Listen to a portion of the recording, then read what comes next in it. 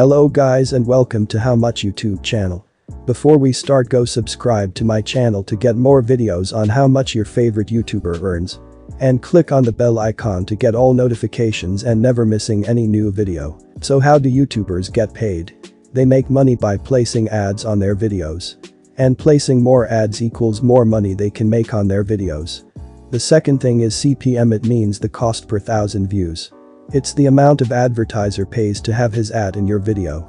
And they spend on average $4 per thousand views. And it's calculated based on how many people watch the video and from where they are watching.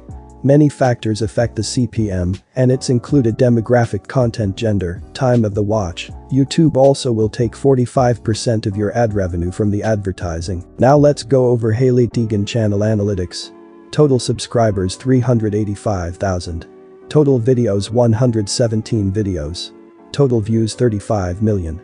Now for the monthly subscribers 12,000 subscribers every month. Monthly views 2.5 million.